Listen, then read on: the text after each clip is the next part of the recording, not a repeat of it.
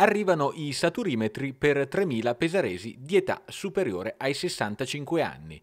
3.000 erano stati promessi e non ci sarà nessun cittadino che verrà scontentato.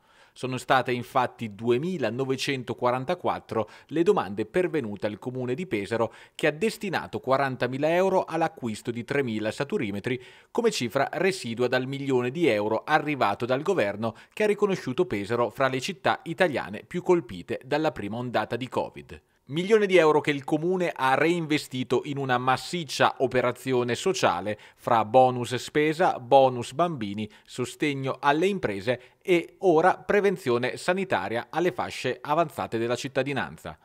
Non c'è stato overbooking, i saturimetri da domenica 6 dicembre saranno consegnati dai volontari di quartiere a tutte le famiglie che ne hanno fatto richiesta famiglie che ora avranno in casa un prezioso strumento di monitoraggio all'ossigenazione del sangue. Il saturimetro è uno strumento piccolo che viene utilizzato proprio per vedere e verificare la saturazione eh, dell'ossigeno all'interno del nostro organismo. È composto di un visore, dove, di uno schermo, di un piccolo schermo dove vengono riportate sia l'ossigenazione eh, del, del corpo e sia i battiti cardiaci.